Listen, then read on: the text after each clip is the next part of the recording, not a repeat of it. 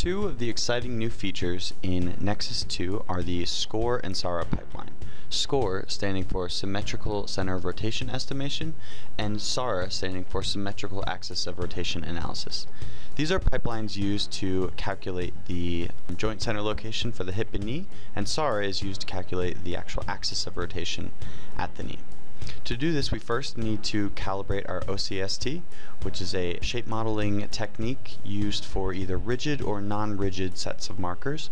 And it's as simple as selecting the four markers, whether that's LASI, RASI, LPSI, and RPSI, or four markers on a rigid shell. Once I've calibrated my OCST, I can then perform the SCoRE pipeline for my hip. These optimization techniques provide a much um, more accurate way to define the hip joint centers. The next step is to run SCoRE with the SARA axis calculated for the left thigh and the left shank. This will produce both the joint center location and a secondary marker representing the axis of rotation at the knee. And you can see that that is really quite great. And these can be used in our post-processing for our biomechanical models.